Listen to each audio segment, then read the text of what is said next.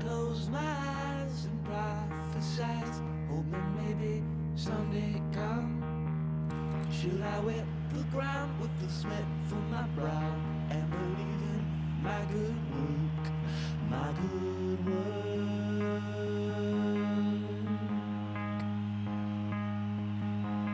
my good work. Whoa! And things are heating up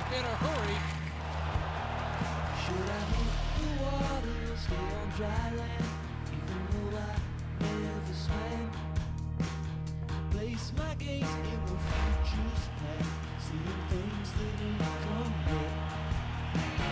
Hope to watch victory dance